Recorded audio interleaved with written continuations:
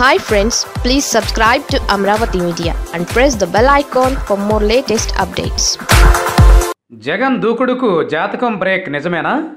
ముఖ్యమంత్రి జగన్మోహన్ రెడ్డి అధికారంలోకి వచ్చినప్పటి నుంచి ఎన్నో కీలక నిర్ణయాలు తీసుకుంటూ ముందుకు సాగుతున్న విషయం తెలిసిందే. ప్రతి విషయంలో విపక్ష పార్టీలు ఎన్ని ఇబ్బందులు సృష్టించినా మొండిగా ముందుకు వెళుతున్నారు. కేవలం అధికారంలోకి వచ్చినప్పటి నుంచే కాదు. అంతకుముందు ఎన్నికల విషయంలో కాంగ్రెస్ పార్టీ నుంచి విడిపోయే విషయంలో కూడా వైఎస్ జగన్మోహన్ రెడ్డి మొండిగానే వ్యవహరించారు. పాదయాత్రకు కాంగ్రెస్ పార్టీ అనుమతించకపోవడంతో కాంగ్రెస్ పార్టీ నుంచి తప్పుకుని ఏకంగా వైఎస్ఆర్ కాంగ్రెస్ పార్టీని స్థాపించారు.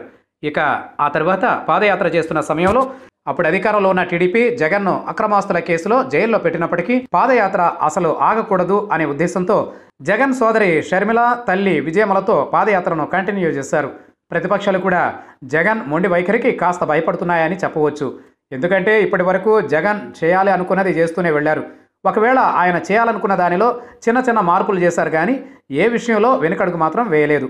ఇప్పటి వరకు జగన్మోహన్ రెడ్డి తీసుకున్న కీలక నిర్ణయాలు అన్నింటినీ ప్రతిపక్ష పార్టీలు ఎన్ని ఇబ్బందులు సృష్టించినప్పటికీ మొండిపట్టుతోనే ముందుకు తీసుకెళ్తున్నారు. ఈ క్రమంలోనే మూడు రాజధానులకు సంబంధించి కార్యాచరణను ముఖ్యమంత్రి జగన్మోహన్ రెడ్డి ఇంకా ఎందుకు ముందుకు తీసుకెళ్ళడం లేదు అన్నది ప్రస్తుతం అందరిలో నెలకొన్న ప్రశ్న. అయితే ఆయన జాతకం ప్రకారం ఏప్రిల్ నెలలో జగన్ ఇష్టానుసారంగా పాలన సాగిస్తే కలిసి వస్తుందని ఆయన ఎంతగానో నమ్మే సాధువు చెప్పారట. అయితే ఒకప్పుడు జగన్కు ఇలాంటి నమ్మకాలు కానీ పట్టింపులు కానీ ఏమీ ఉండేది కాదు. కానీ గత రెండు వేల పంతొమ్మిది ఎన్నికల నుంచి ఇలాంటి నమ్మకాలను పెట్టుకున్నారు ముఖ్యమంత్రి జగన్మోహన్ రెడ్డి. అందుకే ఏప్రిల్ నెల ముందు వరకు జగన్కు జాతకం ప్రకారం గండాలు ఉన్నాయని ఏప్రిల్ నెలలో జగన్ గండాలన్నీ తొలగిపోతాయని అప్పటి నుంచి తనదైన పాలనను కొనసాగించాలి అంటూ జగన్ నమ్మే సాధువు చెప్పినట్లు రాజకీయ విశ్లేషకులు భావిస్తున్నారు. అందుకే ముఖ్యమంత్రి జగన్మోహన్ రెడ్డి ఇన్ని రోజుల వరకు వేచి చూసినట్లు చెబుతున్నారు రాజకీయ విశ్లేషకులు.